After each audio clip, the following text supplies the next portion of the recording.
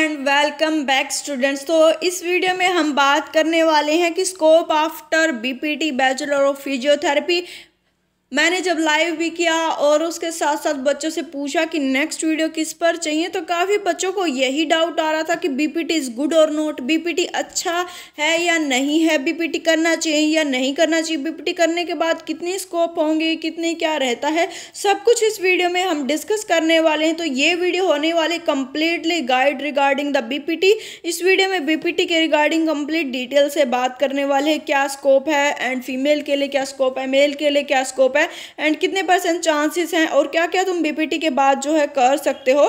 तो इसके बारे में सब कुछ वीडियो में बात करेंगे। तो बीपीटी जो होगा एक काफ़ी अच्छा कोर्स है।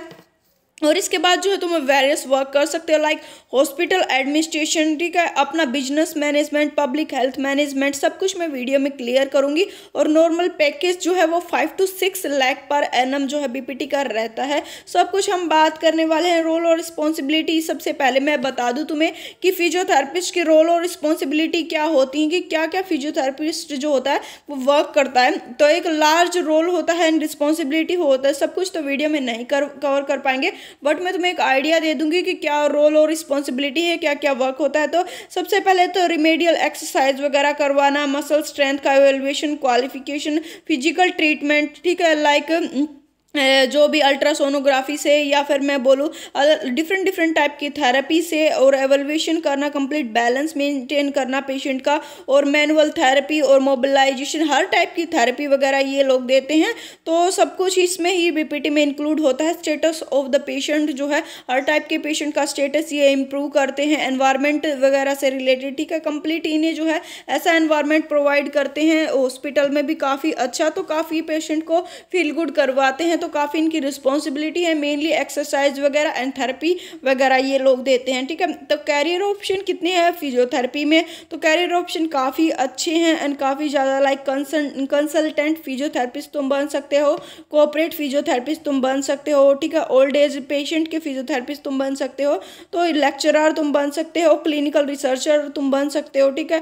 दैट्स अप टू यू कि तुम जो है किस चीज़ में जाना चाहते हो, ठीक है? तो हम बात करें कि मेनली जो है फिजियो फिजियोथेरेपी करने के बाद तुम लोग क्या क्या कर सकते हो? तो सबसे पहले तो गवर्नमेंट सेक्टर में जो है तुम लोग वर्क कर सकते हो, ठीक है? गवर्नमेंट में जाकर वर्क करते, कर सकते हो। बीपीटी का बहुत अच्छा ही करियर ऑप्शन रहता है कि तुम अपना खुद खुद कर सकते हो लाइक अपना क्लिनिकल वगैरह हो गया, जिसमें जो है तुम पेशेंट्स को डेली जो है अपने बेसिस पर जो है चेक कर सकते हो। तुम्हें अथॉरिटी होती है बीपीटी करने के बाद कि तुम अपने अपने अथॉरिटी के बेसिस पर जो है पेशेंट को ट्रीटमेंट सजेस्ट कर सकते हो पेशेंट को एक्सरसाइज सजेस्ट कर सकते हो, उनका कंप्लीट एग्जामिनेशन कर सकते हो डायग्नोज कर सकते हो।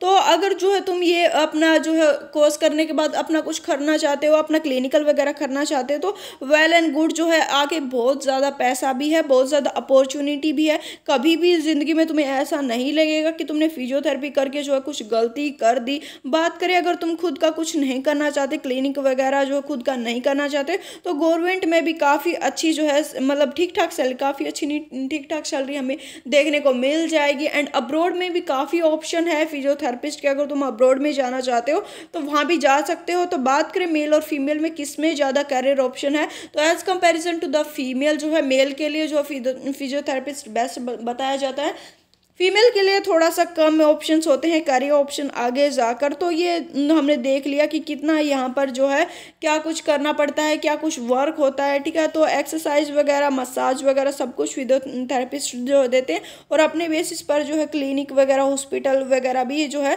ओपन कर सकते हैं, जिसमें जो है पेशेंट का डायग्नोज कर सकते हैं, उनको ट्रीटमेंट सजेस्ट कर सकते हैं डिफरेंट टाइप के एक्सरसाइज भी सजेस्ट कर सकते हैं, ठीक है? और कुछ खुद खुद का भी कुछ कर सकते हैं लाइक हॉस्पिटल एडमिनिस्ट्रेशन बिज़नेस भी कर सकते हैं पब्लिक हेल्थ मैनेजर तो काफ़ी ज़्यादा स्कोप है बट ये वीडियो जो है यही बताने के लिए थी कि पीपीटी जो है अच्छा कोर्स है या नहीं है बीपीटी करना चाहिए या नहीं करना चाहिए तो अगर तुम बीपीटी करने के बारे में सोच रहे हो तो वेल एंड गुड तुम कर सकते हो, कोई भी दिक्कत नहीं है बीपीटी के बाद, काफ़ी स्कोप है एंड अगर तुम कर रहे हो तो और भी अच्छी बात तुम करने के बाद जो है, काफ़ी तुम्हें जो है बेनिफिट्स इसके मिलने वाले। तो मिलेंगे एक नेक्स्ट न्यू अपडेट और वीडियो के साथ साथ कमेंट सेक्शन में बताओ नेक्स्ट वीडियो किस टॉपिक पर चाहिए और ये वाली वीडियो तुम्हें कैसी लगी। इंस्टाग्राम पर फॉलो कर सकते हो लिंक डिस्क्रिप्शन में है।